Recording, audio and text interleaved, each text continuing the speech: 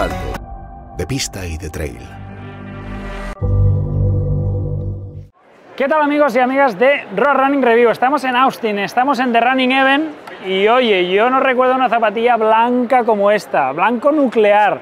Y muchos preguntaréis, Carlas, ¿qué zapatilla es esta? Pues sí, señores, tras esto que hay aquí, tenemos la nueva ASICS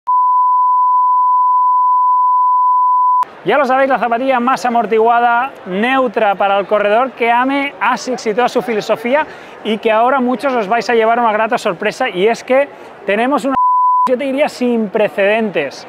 Zapatilla que sigue priorizando el confort, yo creo, para el entrenamiento diario, que ha bajado el peso de una manera importantísima. No sé exactamente el peso que está esta zapatilla, pero ha bajado mucho. Y además de ello con novedades interesantes y es que fijaros que no hay gel por ningún lado.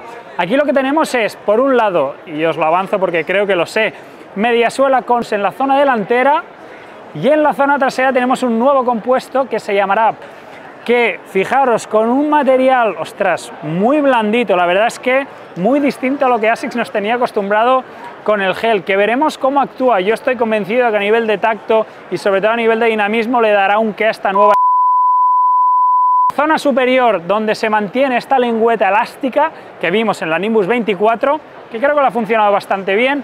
Un contrafuerte, fijaros, un collar algo atípico, veremos cómo se adapta en un modelo como es más tradicional, como es el material, que es una mezcla entre knit y mesh, la verdad es que no sé exactamente la confección, pero sí que a nivel de tacto, hoy es bastante agradable.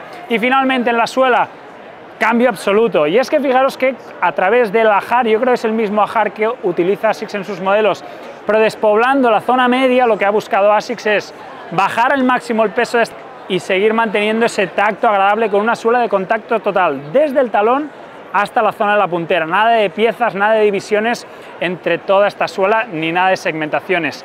Atentos porque esta zapatilla, podríamos llamarla así, misteriosa, yo creo que tiene nombre y apellido, incluso versión, y se va a llamar... Nosotros la probaremos ¿eh? cuando tenga ya el color, el diseño final y te diremos cómo funciona en nuestra página web en runningreview.com. Gracias y hasta la próxima.